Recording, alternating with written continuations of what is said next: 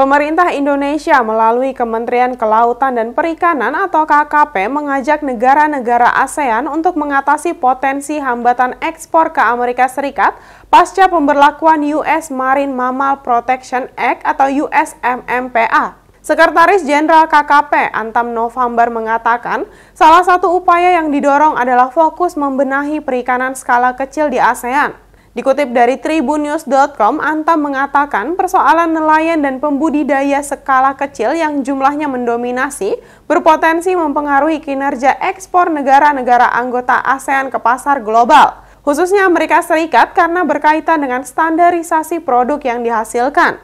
Untuk itu, pihaknya juga meminta pemerintah Amerika Serikat meningkatkan dukungan kapasitas maupun teknis sehingga negara-negara ASEAN bisa memenuhi standar tersebut. Dalam meningkatkan kompetensi nelayan dan pembudidaya skala kecil, Indonesia telah menginisiasi dua konsep di bidang perikanan tangkap dan budidaya. Pada perikanan tangkap, isinya tentang keamanan pangan dan pengurangan kemiskinan melalui penerapan Food and Agriculture Organization atau VAO Guideline. Sedangkan di perikanan budidaya berupa kesepahaman bersama mengenai budidaya berkelanjutan dengan mendorong tata laksana budidaya ikan yang berkelanjutan.